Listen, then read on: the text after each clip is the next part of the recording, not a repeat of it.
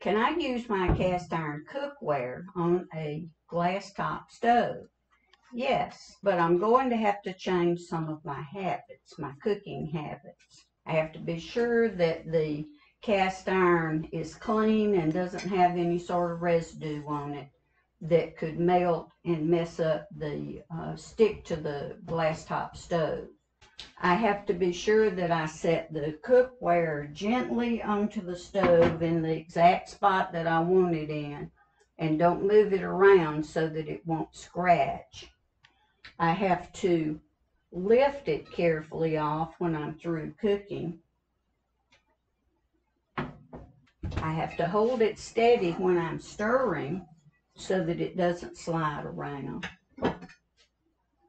And I have to remove it from the heat source as soon as it's finished cooking.